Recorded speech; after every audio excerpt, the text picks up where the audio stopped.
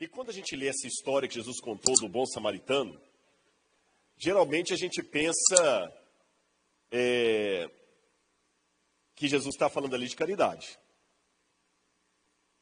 Hospital Bom Samaritano. É um bom nome para um hospital, né? Faz caridade. E pode fazer um sermão do tipo: olha, assim como o samaritano ajudou aquele homem, ajude você também. Mas quando a gente vai olhar o texto assim, não parece que o tema ali é caridade. A Bíblia fala que aquele homem queria colocar Jesus à prova.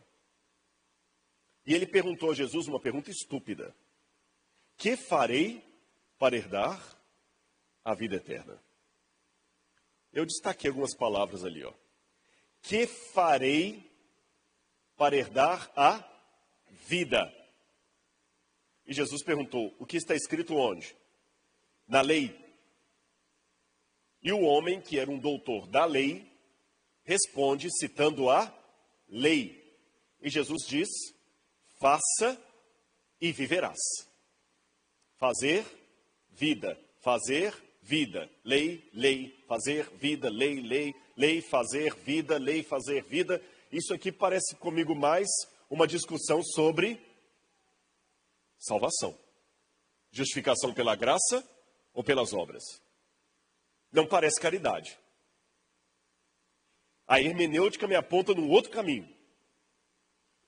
Vamos analisar um pouquinho para tentar entender isso à luz da arqueologia, do contexto e da Bíblia Sagrada, para a gente levar uma mensagem hoje para casa. Eu vou confessar para vocês uma coisinha de aconselhamento pastoral. Espero que o pastor Josué não fique bravo para eu contar esse segredo. Quase todo pastor sabe que ele tem que ignorar os 5 ou 10 minutos primeiro de qualquer conversa de aconselhamento. Sabe por quê? Porque o verdadeiro problema nunca vem à tona no começo da conversa. As pessoas têm a tendência de esconder o problema como criança que esconde um machucado para não passar mertiolate. Eu dou exemplos bíblicos.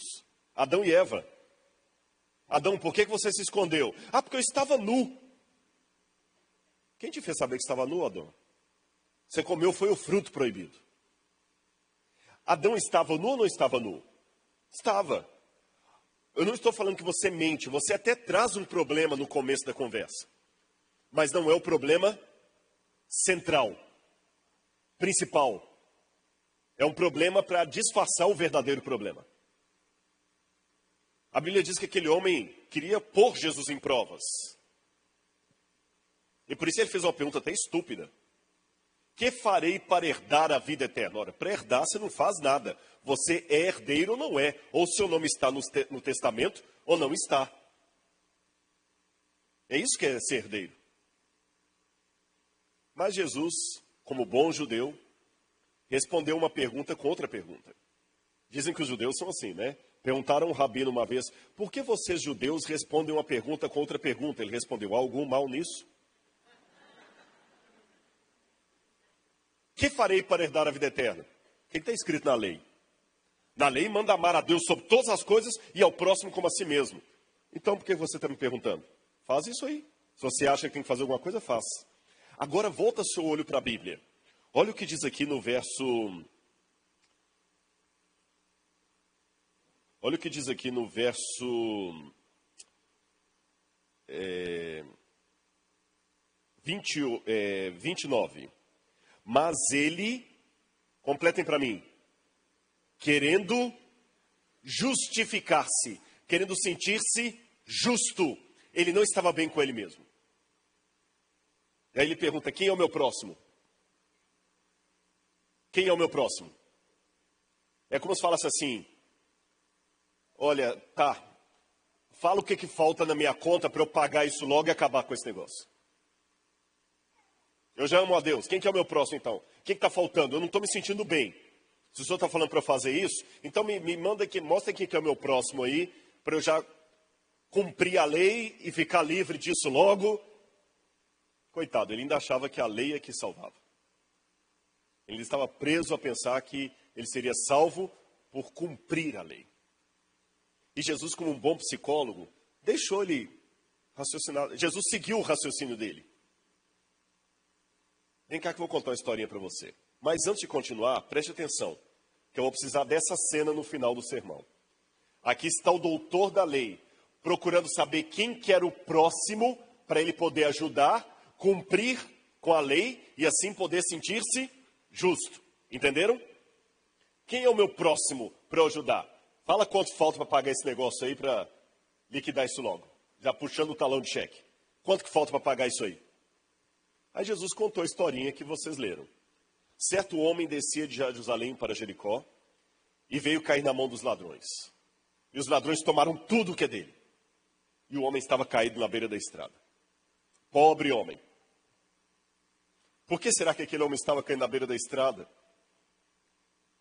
De repente eles tinham até adorar em Jerusalém, tinha boas intenções, estava voltando da igreja, tinha acabado de devolver o dízimo dele, a oferta, tinha voltado para casa feliz porque viu um sermão que mexeu com ele e os ladrões o pegaram e o deixaram no meio da estrada.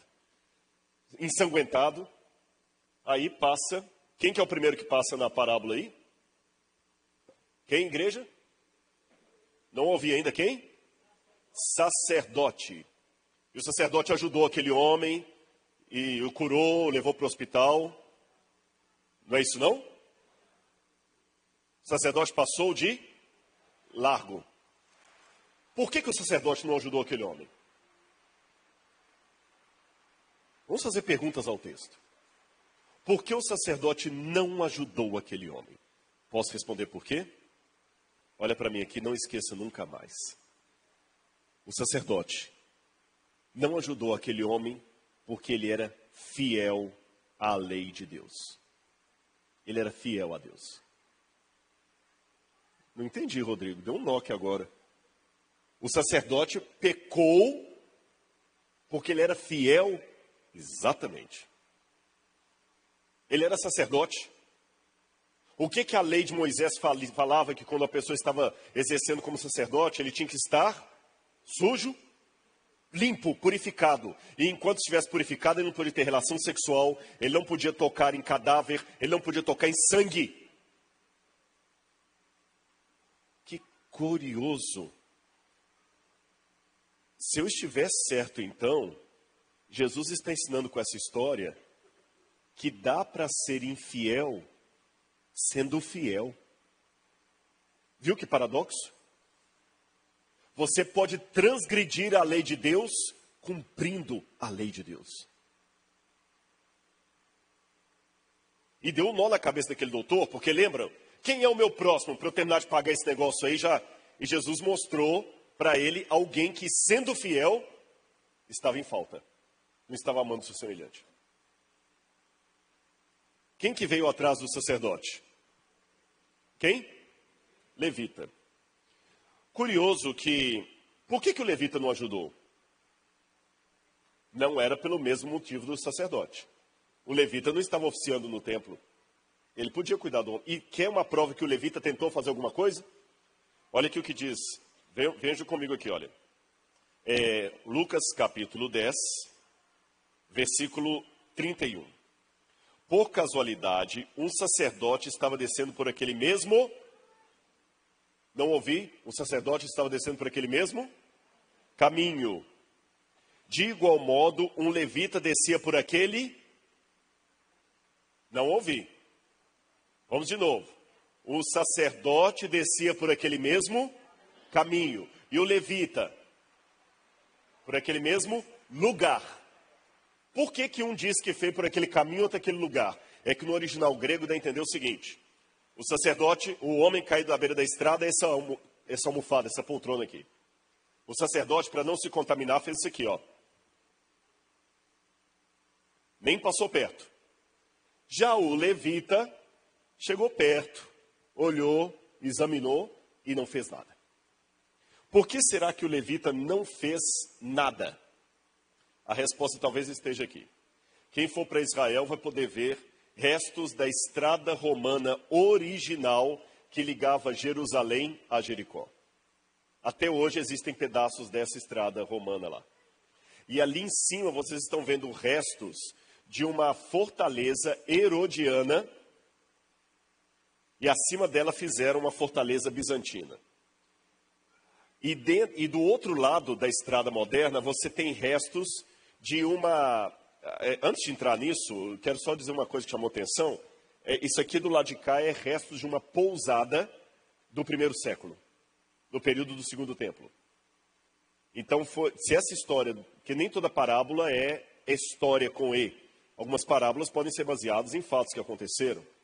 Se essa história for uma história que de repente aconteceu de um assalto que Jesus contou, pode ter acontecido por ali. E o que me chamou atenção é que essa estrada que liga Jerusalém a Jericó, ela quase não tinha, a estrada romana eu digo, quase não tinha curvas, olha lá o desenho. E é uma descida, porque Jericó está abaixo do nível do mar em relação a, a Jerusalém. Está mais baixo. Então isso dá a entender que quem vem aqui atrás consegue ver o que está acontecendo lá na frente. O levita provavelmente vinha atrás e viu o que o sacerdote não fez. Aí vem aquela filosofia: se o pastor não foi, por que, que eu tenho que ir? Se o outro não fez, você já notou como é que tem irmão que ele é especialista em arrumar pessoas para você evangelizar? Mas ele mesmo não vai. Olha, eu encontrei uma pessoa aqui, pastor, vai lá visitar, estou doido para vir à igreja. Irmão, eu sou um só, não dá para você fazer uma visita para ele? Se o sacerdote não faz, o que, é que eu vou fazer? Mas finalmente vem o nosso herói. Um samaritano que seguia o seu caminho, que significa, olha, veja, o sacerdote descia por aquele mesmo caminho, o levita por aquele mesmo lugar, mas o, o samaritano seguiu o seu caminho. Ele andava pelas montanhas lá para evitar a estrada, porque ele não podia usar uma estrada que os judeus usavam. Mas quando o samaritano viu aquele homem caído lá, ele tirou de si o preconceito, o medo da rejeição, o medo de receber pedrada, que ele podia ser apedrejado por um judeu ali. Desceu correndo e pegou aquele homem. Sem olhar se tinha problemas ou não. Irmãos, eu não quero aqui criar uma. É, Dietrich Bonhoeffer falava do mito da graça barata. Ele dizia o seguinte: a graça é de graça, mas não é barata.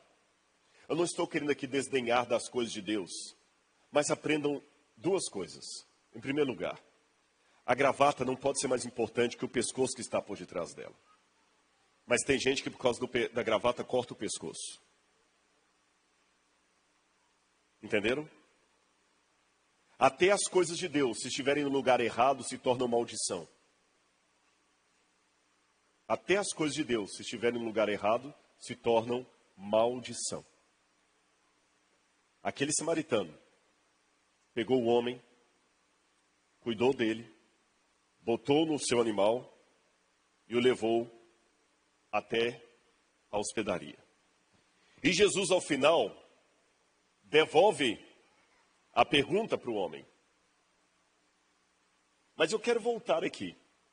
Qual foi a pergunta que o doutor da lei fez para Jesus, por último, antes dele contar a parábola? Quem é o meu próximo? E vocês lembram que eu falei: olha, o doutor da lei está perguntando: quem é o meu próximo para eu ajudar? Então aqui está a silhueta do doutor da lei, e do outro lado a silhueta do próximo. Se aquele é o próximo, esse é o doutor da lei. Só tem dois personagens aqui: o próximo e o doutor da lei. Olha como Jesus inverteu a pergunta. Quem foi o próximo? Quem foi o próximo daquele que caiu nas mãos dos salteadores? Vocês perceberam isso? Você está querendo saber quem que é o próximo para você ajudar? É você que está precisando de ajuda. Você que precisa de ajuda. É você que precisa ser ajudado. Você que se levantou querendo me colocar em provas, na verdade você está querendo se sentir justo. Você precisa de salvação. Você que está caído no chão, ensanguentado, e de repente nessa noite, eu estou falando para pessoas que estão caídas e nem se deram conta que precisam de ajuda. E sabe por que, que às vezes você não encontra ajuda? Porque a primeira coisa que você precisa ter é a humildade para aceitar a ajuda de alguém que você despreza, de alguém que é samaritano, porque Jesus muitas vezes é a figura desprezada desse mundo. Jesus hoje está fora de moda. Por quê? Porque Jesus é criacionista. Jesus acreditava na literalidade da Bíblia. Jesus acreditava que Deus criou o céu e a terra. Jesus acreditava no casamento como a Bíblia coloca. Jesus acreditava em coisas que hoje são consideradas fora de moda. E você tem que ter a humildade para aceitar que esse Jesus considerado samaritano por muita gente, aliás, ele era chamado de samaritano por alguns judeus. Esse Jesus salve você. Um Jesus que não está nos padrões do politicamente correto. E pegue você e leve você. Eu aprendi uma coisa, eu não sei nadar. Mas eu aprendi uma lição de natação. Se algum dia eu estiver afogando e vier alguém me socorrer, a primeira lição Aprenda comigo se você também não souber nadar como eu. Não atrapalhe o seu Salvador. A pior coisa que tem é você entrar em desespero e estrangular o bombeiro e não deixar ele te tirar da água. Quer ser salvo? Eu vou te falar qual é o seu papel na salvação. Não atrapalhe o seu Salvador. Deixe ele tirar você do chão. Agora, o que me chama a atenção nessa história, eu quero mostrar uma coisa para vocês é que se o samaritano é Jesus, aquele homem caído na beira da estrada só podia ser o doutor da lei, o que precisava de ajuda. O que começou a pergunta achando quem que eu preciso ajudar para encerrar essa conta, e era ele que precisava ser salvo, precisava de ajuda. Agora, primeira lição. Jesus não salva alguém para deixá-lo à beira da estrada. Jesus tira da beira da estrada, ele tira do mundo. E hoje existe um movimento, eu até estava conversando lá dentro com os pastores, eu escrevi um livro sobre isso, já estou rascunhando um livro sobre isso. Qual o papel da igreja na salvação, na vida do crente? Porque estão dizendo coisas por aí, pastor, que não são bíblicas. E desculpe, eu não quero contradizer nada, eu não estou na minha igreja, mas vou tomar licença para falar isso aqui. Uma frase muito: a igreja sou eu. Não, a igreja somos nós. Igreja não é você na sua casa assistindo um sermão na internet. A igreja é você reunindo junto para cultuar junto. Deus não salva alguém do mundo para deixá-lo lá. Mas curioso, já que eu falei de igreja e mundo, o samaritano salvou aquele homem, não deixou na beira da estrada, mas também não levou aquele homem para casa. O samaritano não levou aquele homem para Jerusalém. O samaritano levou aquele homem para onde? Hospedaria. A hospedaria era um lugar na beira da estrada onde todo tipo de gente ficava. O rico e o pobre. Isso eu falo arqueologicamente falando, pelo que a gente tem dos indícios arqueológicos ali, porque era uma estrada de mais ou menos 25 quilômetros, mas você, dependendo do horário que você saía de Jerusalém a pé, você tinha que dormir na hospedaria, porque era perigoso, de noite lá havia muito assalto. Então, o rico ficava lá e o pobre também. Uma pessoa religiosa, uma menos religiosa. Essa hospedaria representa a igreja. Quando Deus te salva, Ele não te salva para te deixar no mundo, Ele te tira do mundo, mas Ele ainda não te leva para Nova Jerusalém. Ele te traz para a hospedaria, para a igreja. E ser salvo requer um grau de humildade muito grande. Primeiro, para admitir que eu preciso de salvação. Segundo, para não atrapalhar o meu Salvador. Terceiro, para deixar que o meu Salvador me salve, mesmo sendo ele um samaritano que eu aprendi a desprezar desde a infância. E quarto lugar, deixar que esse samaritano me leve para a igreja dele, onde todo tipo de gente vem. E o mais interessante, ter a humildade para estar dentro da igreja, cultuando ao lado do samaritano, que eu desprezo, e ao lado do sacerdote e do levita, que recusaram me ajudar. Você teria humildade espiritual para Deus te trazer para a igreja, onde tem pessoas que te recusaram o pão? Você aceitaria adorar do lado do levita e do sacerdote que te deixaram à beira do caminho, sem prestar socorro? Você teria essa humildade? Ou você fala, não, aí eu não entro, porque esses dois que me recusaram a ajuda estão aí dentro? Ou você aceita e deixa o samaritano levar você para hospedaria? Todos os dias, o samaritano Jesus vem trazendo pessoas para a hospedaria.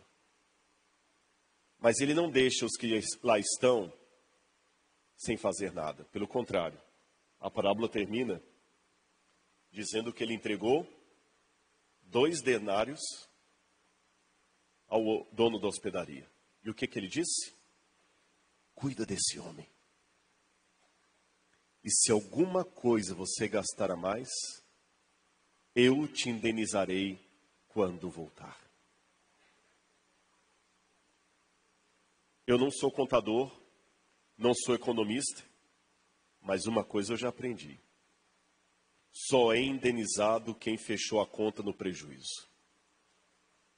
E de repente alguém está falando assim, pai, mas eu já estou cansado de cuidar da igreja aqui. Eu venho, eu ajudo no ministério de louvor, eu ajudo limpando, eu faço, aconteço. Eu só estou com prejuízo, eu não estou, não estou vendo nenhum, nenhum lucro nisso cuida dele. Senhor, mas estou cansado, já fui visitar lá, ele não converte, a gente vem e visita e visita, a pessoa não vem, ele parece que tem o coração do, cuida dele. Mas Senhor, eu estou cansado, dá muita dor de cabeça, a gente prega para ele, daqui a pouquinho o cara está bebendo de novo, está caindo no, na bebida, não tenho mais paciência, cuida dele. Senhor, mas eu já estou perdendo noite de sono para levar um camarada, cuida dele.